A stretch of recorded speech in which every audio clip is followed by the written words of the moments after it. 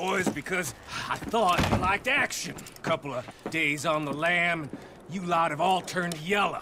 Apart from you, of course. Shut up, Micah. I ain't never seen so many long faces. Hmm. I guess... I guess folks miss them. That fell. But when I fall, I don't want no fuss. When you fall, there'll be a party. Party. Probably. Uh-huh. That funny, huh? Sure. I don't feel like being laughed at by the likes of you two. Stop it!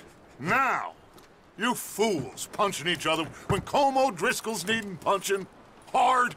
You want to sit around waiting for him to come find us? All of you, we got work to do.